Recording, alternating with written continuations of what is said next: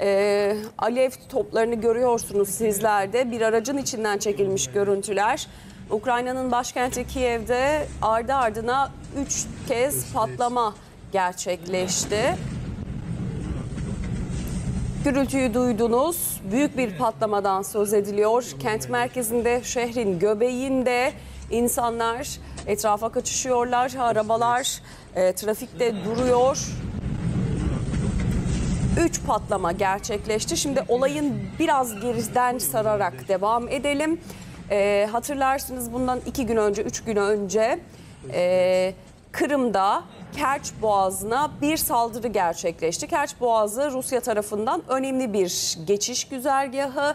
E, savaşın ilk başladığı andan itibaren Putin hükümetinin çok güvenlikli korunduğu dediği bir boğazdan söz ediyoruz ve aynı zamanda silah sevkiyatının, asker sevkiyatının da bölgeye yapıldığı Rusya tarafından geçişlerin düzenlendiği bir boğazdan.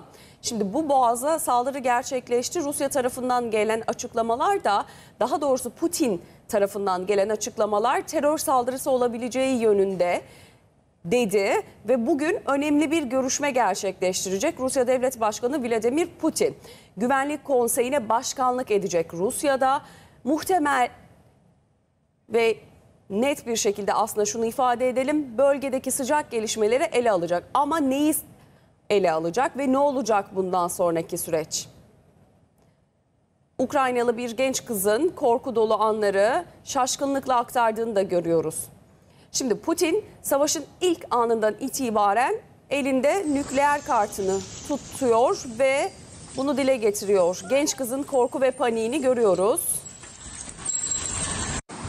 У мене трясуться руки, тому що я щойно побачила, як летить ракета. І я почула це.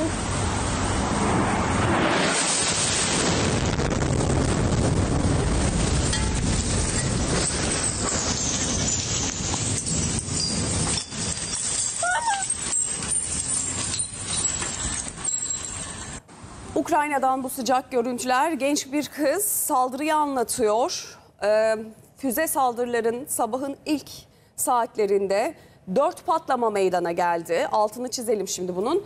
Ee, genç kız sokakta yürürken patlamanın gerçekleştiğini bir yanda da bir gözüyle gökyüzüne bakıyor. Elini ağzına korkuyla, e, şaşkınlıkla Bu görüntüleri anlatmakta yarar var. Radyodan bizi dinleyen dinleyicilerimiz e, ve televizyon ekranlarında izleyen izleyicilerimiz için Ukrayna'dan, Kiev'den sıcak görüntüleri aktarıyoruz.